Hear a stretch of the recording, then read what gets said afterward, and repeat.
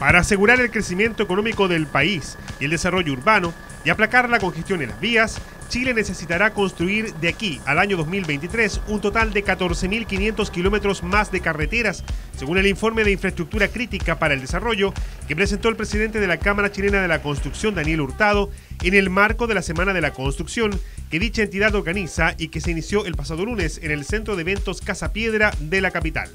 El estudio indica que tal cantidad de kilometraje en carreteras será necesario implementar para mitigar las negativas consecuencias que constituye el explosivo crecimiento del parque automotriz en nuestro país, que finalmente redunda en un alto grado de congestión en las vías, en pérdida de tiempo, aumento del consumo de combustible y baja productividad.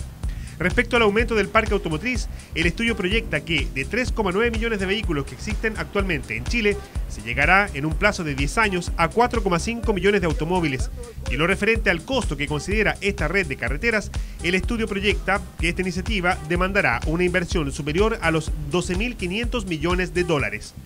Para el presidente de la Cámara Chilena de la Construcción, si nuestro país considera tener una oferta vial óptima similar a la que tienen los países desarrollados, debería duplicar su actual infraestructura carretera. Es decir, de los 77.571 kilómetros que tenemos actualmente, deberíamos llegar al menos a unos 155.000 kilómetros de carreteras.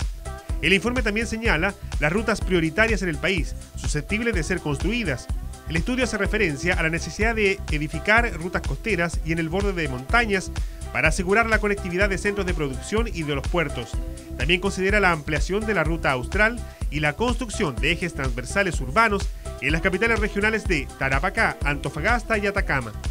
Una vez más, se hace evidente lo advertido por el gobierno comunal iquiqueño liderado por el alcalde Jorge Soria Quiroga hace algunos años respecto a la necesidad de fortalecer la conectividad de Iquique, no solo con las ciudades vecinas, sino que con los caminos internacionales que recorren Bolivia, el norte argentino, Paraguay, el sur de Brasil, a fin de fortalecer los corredores bioceánicos que desembocan en el Océano Pacífico por Iquique y que conforman una base para el despegue económico y financiero de la ciudad, aprovechando su condición estratégico-comercial que le brinda la SOFRI y el puerto, entre otras ventajas comparativas.